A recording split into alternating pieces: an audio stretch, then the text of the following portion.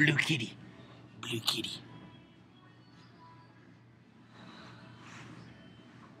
So you know those shoes that I got from DSW that were supposed to be cheap or whatever? Sandals. that I Hi.